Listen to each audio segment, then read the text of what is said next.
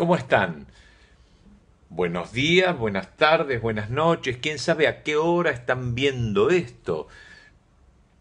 Se me ocurrió hacer un informe semanal de todas aquellas cosas que los grandes medios no te cuentan. Por los intereses creados que tienen, porque necesitan de la pauta. Pauta es la publicidad, la plata que les da el gobierno nacional, el gobierno provincial o la ciudad.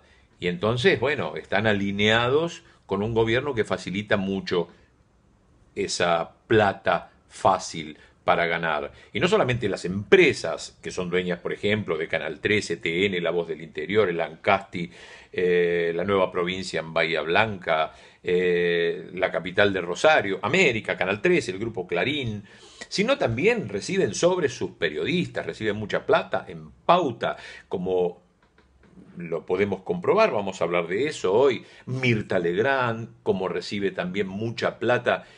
Mónica Gutiérrez, en menor medida María Julia Oliván, son diferentes sobres, ¿no? Entonces, bueno, quizás lo podamos hacer en vivo alguna vez y otras veces así, grabado. Así, como lo dice el cartelito, si les gusta, pongan like y de alguna manera me doy idea si estos informes de los martes les sirven o no. Hola. Hola, Mariana. Hola, Leo, ¿cómo estás?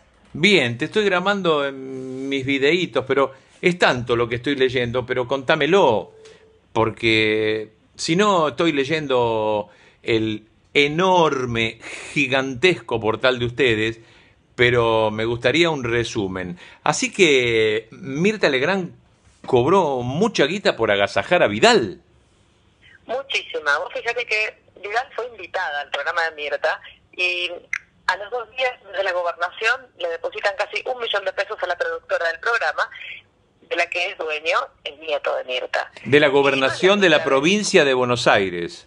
Exactamente, de parte de la tesorería de la provincia de Buenos Aires se le depositaron 944.481 pesos a Storylab. ¡Ay, cuántos desayunos hay! Con ese presupuesto puede haber una escuela en el Delta, las lanchas que le cortó Vidal, ¿no? ¿Cuántas copas de leche que también cortó? Pero se lo llevó Mirta si no lo necesita. Está llena de joyas, de ropa, de, de, de fama, de gloria, de años. No los necesita. ¡Qué bárbaro! Qué cosa horrible. O sea, eh, es una más. Pero yo creí que era gorila simplemente por el hecho de pertenecer a esa clase a la cual accedió gracias a los buenos sueldos que tuvo en el cine y a casarse con un hombre que ya venía con plata, Tiner. Pero no, también cobra pauta como lo cobra Mónica Gutiérrez. Mónica Gutiérrez sí viene de rata, porque ella no era millonaria, ahora se está haciendo millonaria, ¿no? Claro, ella te dice, tenemos que resignar todos una parte, pero la que parece no resignar está haciendo ella. Eh, nosotros hicimos un seguimiento de alguna de las pautas que tiene, porque tiene muchas más, solo que es difícil encontrarlas, incluyendo eh, pauta en un sitio web que casi no tiene visitas, y ya ha pasado el medio millón. Yo tengo, yo tengo más de 10.000 seguidores en YouTube. Ella no tiene tanto y recibe más o menos cuánto en Mónica Gutiérrez. Más de 500 mil pesos. Ay. 135 pesos. Yo, si me dan eso, dono la mitad a los colegios acá de la paternal. Pero bueno, eh, no, no, no, la voy a conseguir seguramente. Eh, la pauta de Mónica Gutiérrez viene del gobierno de la ciudad, de la nación, de la provincia, ¿de dónde? De los tres lugares. Ah, de los tres lugares. Nación y provincia. Sí, pero algo muy interesante. El lugar de Mónica, que recibe más de medio millón en pauta oficial, la ven 10 personas por día.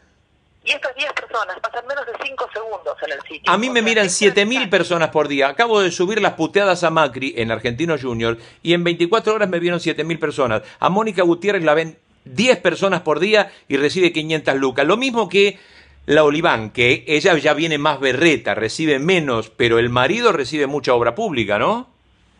El marido, eh, más que recibir obra pública, él lo que hace es el hormigonado en obra. Entonces, cuando vas a buscar las licitaciones, vos no lo encontrás. Pero cuando vos entras a la página del marido, ahí ves con las municipalidades que trabaja, que está haciendo el hormigonado, por ejemplo, en el aeropuerto del Palomar, donde están saliendo, bueno, no salen últimamente los aviones de Flybondi. Sí, la gente que vuela en Flybondi puede llegar a morirse. La pregunta es, ¿cuánto hormigón se utiliza para hacer un aeropuerto? Son casi dos kilómetros de pista. Bueno, ahí está el negocio y ahí está el marido de María Julia Oliván. Pero no solamente en eso, sino que también tiene muchas... Vos, vos por lo menos publicás todos los decretos, por ejemplo, Michetti le da a Oliván tanta plata, el gobierno de la ciudad, el gobierno de la provincia, el gobierno de la nación le da a Mónica Gutiérrez tanta plata y también a Mirta Legrand tanta plata. Todo está publicado en el disenso, no es que estamos tratando de hacer lo que hace Majul. No estamos hablando en potencial. Vos asegurás y mostrás los papeles donde el gobierno le paga a estos periodistas acólitos para que hablen bien de ellos, ¿no es así? Correcto. Bueno, hay que ver el disenso.com. Muchísimas gracias. No quería leer, quería que me lo cuentes vos. Perdón por la hora. Muchas gracias por el llamado. Un beso grande, Leo. Chau. Ellos son Mariana Escalada y su marido que en las sierras cordobesas hacen el disenso.com. Se los recomiendo porque es periodismo serio. Ahí tienen los datos para discutir con mamá, con la hermana, con el hermano, con los compañeros de trabajo, con los taxistas, que habitualmente, por lo menos en un 60%, son muy fachos en la ciudad de Buenos Aires, para discutir con datos y decir, mira, acá está, acá está lo que paga Vidal, acá está lo que paga Macri, acá está lo que paga la reta, para que Mirta diga esto, para que Mirka esté contenta, para que Mónica Gutiérrez esté contenta, para que María Juan, Julia Oliván esté contenta, y tantos periodistas cobran mucha plata, pero hay que entenderlos, son personas, todos queremos cobrar plata. La cuestión es cómo duermen. El INTI es Instituto Nacional de Tecnología Industrial. Son unas personas muy capacitadas, porque son todos profesionales, que controlan la calidad de los productos que se fabrican. Por ejemplo, un chaleco antibalas, una botella que va a contener una gaseosa, unos lentes, todo controlan para que esté de acuerdo a las normas que nos beneficien a los consumidores y no que beneficien al empresario. Entonces, estas personas molestan ahora porque los empresarios, que son muy especuladores, quieren ganar dinero, son seres humanos, hay que comprenderlo, todo es rapiña, todo es cuanto menos ponga e igualmente lo pueda vender, mejor. Por eso tenemos un instituto nacional, el Estado, que garantice que un chaleco antibalas sea verdaderamente antibalas, que una lamparita no explote al día de haberla comprado, que un producto no sea tóxico para que jueguen nuestros chicos. Bueno, los rajaron.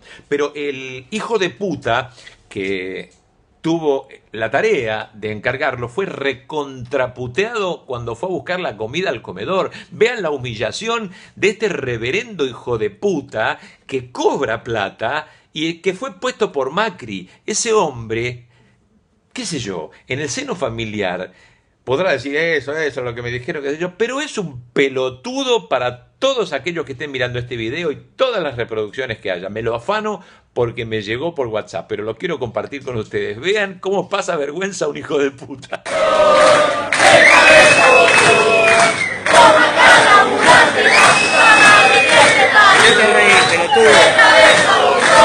Justo cabeza. Ah, ¿de qué te reís? Ah, no, pero te reías, no, no me no. Bueno, yo tengo de pedido, flaco, vos me dejaste laburar, que yo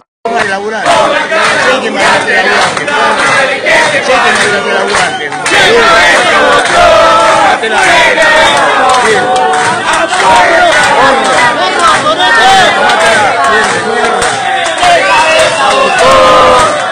¡Qué cabeza votó! ¡Cómo está la puta que te parió!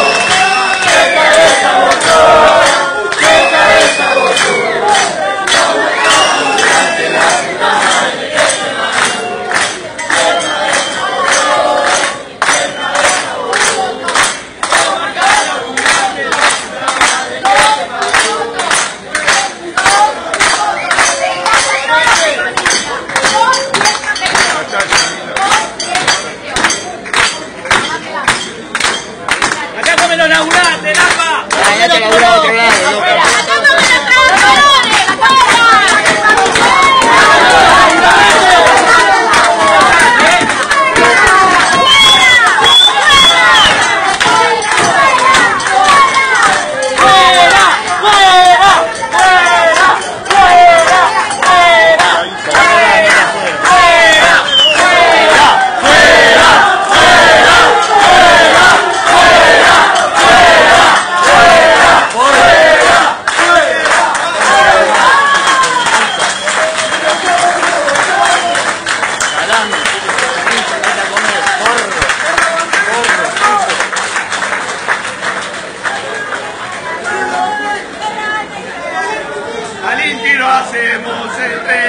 trabajadores.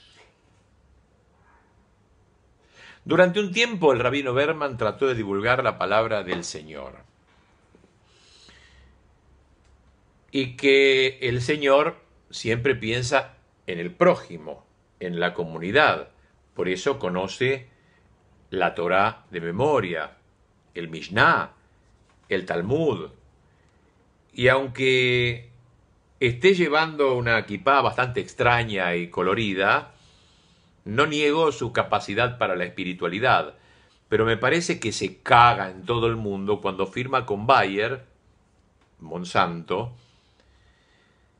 el hecho de que se fumigue solamente a 100 metros de las casas de las personas, o sea, que los cánceres y los nacimientos de chicos malformados son responsabilidad de él y de Bayer, la empresa que fabrica este elemento, el Roundup, que permite fumigar y ganar plata a mucha gente por más que mueran las personas que viven alrededor.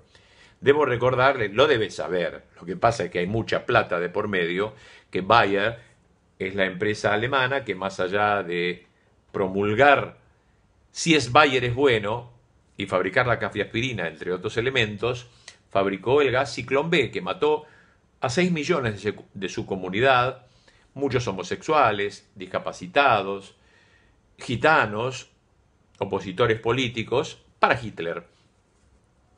Pero bueno, eh, vamos a ver un poco de Tele Argentina, Monsanto, esta empresa de mierda, patrocinada ahora porque la compró Bayer, está siendo prohibido en todos lados, inclusive aquí y en el mundo entero, porque vamos, Macri fracasó en su gira europea el presidente de Francia lo sacó carpiendo. ¿Ustedes utilizan Monsanto? No, nosotros no queremos transgénicos, nosotros nos cuidamos nuestro propio culo. Y se fue a ver a Di María cómo jugaba en el Paris Saint-Germain.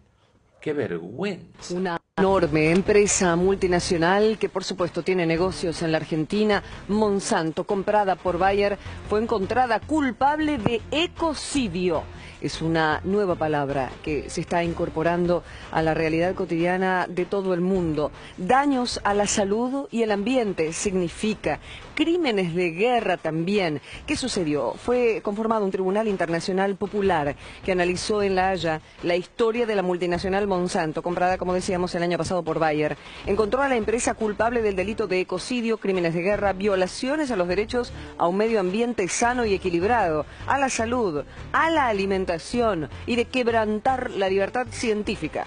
Monsanto, que desde principios del siglo XX comercializó productos altamente tóxicos como el PVCB, el 245T, el herbicida Lazo y el famoso Roundup, elaborado a base de glifosato, fue sometida a un tribunal ético integrado por cinco prestigiosos jueces, entre ellos la argentina Eleonora Lam, subdirectora de Derechos Humanos de la Corte de Mendoza. Para esto se utilizaron los mismos procedimientos que usa la Corte Penal Internacional de La Haya, pero la compañía se negó a participar.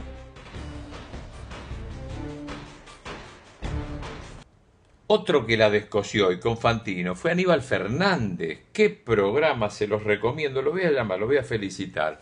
Aníbal, porque la verdad que se lo merece. Lo comunicaremos con el Movistar solicitado. Ah, Por favor, diga su nombre. El Leonardo Greco. Aguarde un momento y será atendido. Eh, Una secretaria cibernética tiene.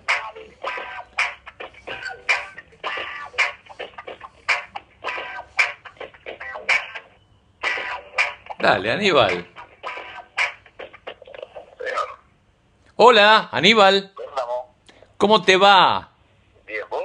Bien, querido. Te llamaba para felicitarte porque ayer con Fantino estuviste formidable, mejor que en casa, porque en casa estás en casa amiga, pero ahí estabas con alguien que por lo menos se pone el disfraz de enemigo. Mira, eh, yo no hago otra cosa que discutir las cosas que las creo. No, no le busco la pata a la sota en estas cosas. Me parece que la única conclusión que uno puede arribar es discutir sobre lo que sabe o sobre lo que estudia este, en defensa de los intereses que creo que tengo que defender, porque es lo que me ha guiado siempre al el vivir para la política. Pero te ayudó, ¿Te ayudó que él tenga el libreto que los medios tienen hace tres o cuatro años, los, los periodistas que atienden este tipo de causas, se robaron todo, dejaron todo mal? ¿Te sirvió? ¿Fue útil que él te haya dicho lo mismo que dicen todos los que están en ese club? Bueno, pero eh, que sea su visión no significa que ni tenga para rebatirla. Me parece que sobran elementos para rebatirlo y guardárselo, cagárselo o esconderse atrás de los malbones para esperar que las consecuencias sean la, la- la- las lógicas que van a suceder en este país por ese camino que ha tomado, eh, me parece de tonto. Yo no quiero hacer eso, no, yo no, yo no a la política. Y esta novedad. En tres días, dos de estos billetes cayeron en mis manos. Fíjate vos, no solamente en las canchas y en los oídos, sino también en el tacto y en los ojos de la gente llega este mensaje de descontento. Posiblemente inunden ahora a las focas, a las llamas, a las ballenas que están poniendo los billetes. Mira vos. Otra noticia es que sobreseyeron por la causa INDEC, pero sobreseído a Guillermo Moreno. A ver, lo, lo vamos a llamar. Es tarde a esta hora, pero bueno. Movistar. A ver, ¿tendrá la musiquita de Aníbal? Hola. Moreno, soy Greco. ¿Qué tal, eh, compañero? ¿Cómo anda? Un placer saludarlo. Bueno, lo mismo yo, pero más que nada felicitarte. Sobreseído por la causa INDEC con la que rompieron las pelotas todos los periodistas, Mauricio Macri, todos hablando de Moreno con el INDEC, Moreno con el... Sobreseído, o sea, a cerrarse la boca. Mira, vos sabés que yo soy de, de una generación que anteponía el proyecto colectivo al individual y eso lo aprendimos en los 70, pero especialmente en el Movimiento Nacional Justicialista. Entonces, este sobreseimiento no es un hecho individual, sino que permite recuperar los logros del gobierno peronista, porque si Cristina hubiese dejado 30% de pobres, eh, era un inútil que se tenía que quedar en el calafate tejiendo escarpines, pero no tiene por qué quedarse en calafate. Puede aspirar, ¿por qué puede aspirar? Y porque dejó la pobreza que siempre dijimos que había dejado, que son muchísimos, pero no los números que decían ellos. Dejamos el 6% de pobres, dejamos este país con todas las familias comiendo, por eso le dieron un premio en la FAO, eh, dejamos la tasa de desocupación que dejamos y decimos la inflación que era y ahora objetivamente la justicia también lo dice. La cual, justicia, la justicia no kirchnerista, dijo Moreno sobreseído después de todas las instancias que tuvo que tener, sobreseído por la causa INDEC, o sea, a cerrar la boca, Dugan y todos tus amigos. No, y no solo ellos, porque ellos eh, finalmente, finalmente hacen parte de la militancia del sector opositor o adversario. Los que tienen que pedir eh, humildemente perdón son los que compartieron el gobierno con nosotros, hicieron lo mismo. Sí, Porque nos tienen que pedir humildemente perdón y tenemos que construir con ellos el frente electoral con el cual derrotar a este gobierno oligarca en el 19. Pero para construir ese frente electoral, primero nos tienen que mirar a los ojos y decir nos equivocamos. Te felicito, Guillermo. Buenas noches y gracias. No, fuerte abrazo, saludos a tu familia. eh, Gracias por el llamado. Eh, Moreno. Veo ahí en Revolución Popular, que es un canal de YouTube que te informa todo lo que te pudiste perder en la tele, que el gato silvestre estalló, pero podés ver un montón de cosas, pero a C5N la censuran, ¿sabes cómo? Desde hace rato que no se puede ver. Voy a llamar al ñato este de Revolución Popular, se los recomiendo. Suscriba. Hola, ¿cómo te va? Soy Leo-. Leonardo Greco, soy. ¿Qué tal? Martín de, de Revolución Popular. Martín, estoy haciendo un video de los que siempre hago, pero esta vez quiero eh, agradecerte primero lo que haces, porque lo haces muy bien. No toda la gente puede ver eh, todo lo poco que puede llegar a salir, que les informe verdaderamente qué es lo que pasa, sino que el último video que estoy viendo es que el gato silvestre estalló, reventó C5N muy censurada en casi todo el país.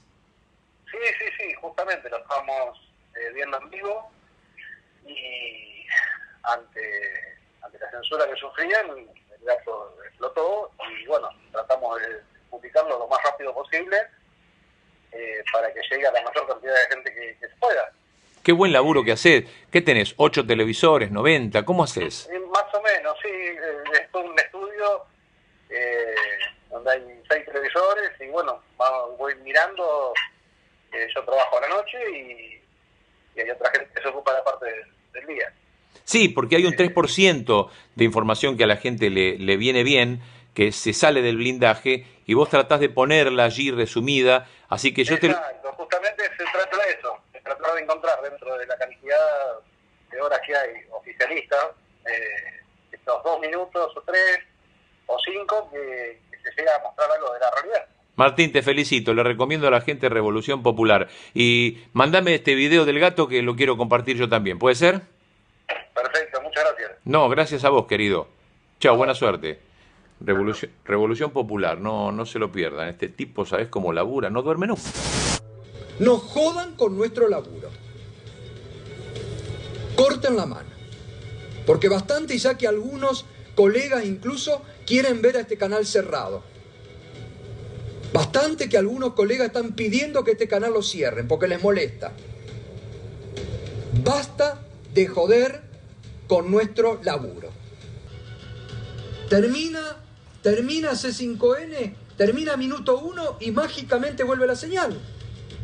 Ahí está, empiecen a mostrar por favor todo para que no vean que estemos diciendo pavada. Ahí está, cortada C5N en Olavarría y las redes dicen que en caso todo el país. Te veo por internet, la gente viva, ¿eh? nos ve en YouTube nos ve en internet.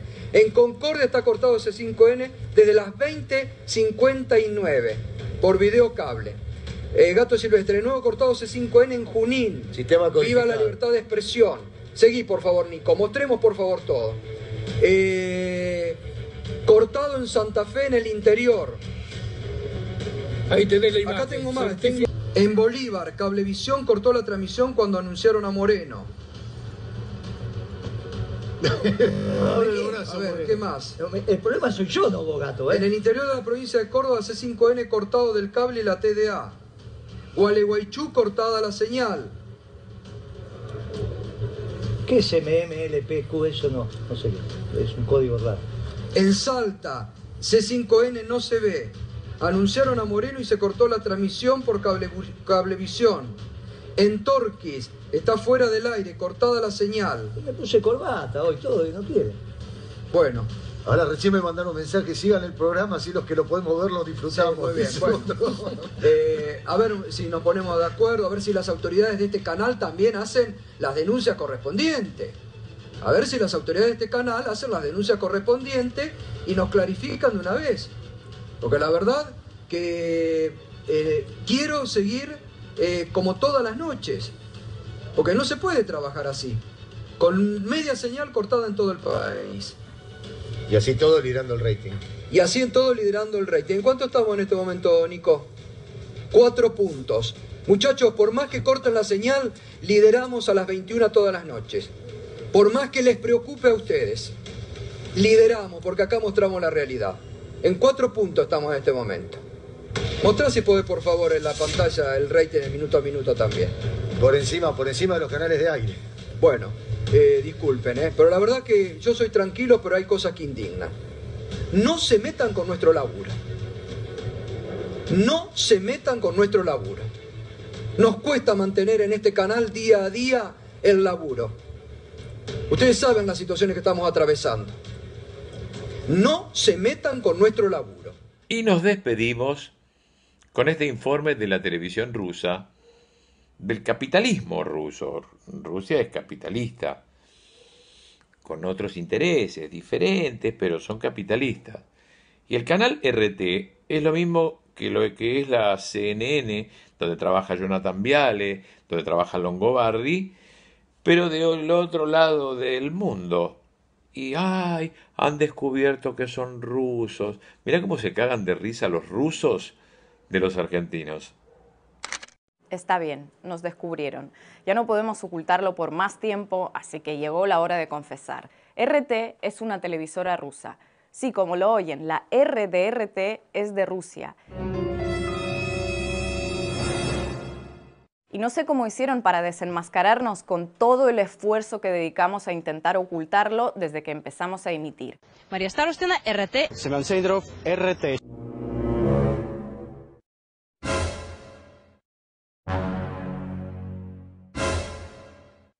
Pero por si acaso algún despistado no se había enterado, ahora YouTube viene al rescate. Cada vez que los usuarios de esta plataforma en Estados Unidos vean un video de RT, les aparecerá en pantalla una advertencia recordándoles que RT está total o parcialmente financiada por el gobierno de Rusia. Además de este impactante anuncio sobre el descubrimiento del agua tibia, llama mucho la atención la discrecionalidad y el vocabulario escogido para esta medida. La etiqueta financiados por el gobierno YouTube se la reserva casi exclusivamente a canales rusos, chinos, árabes y latinoamericanos.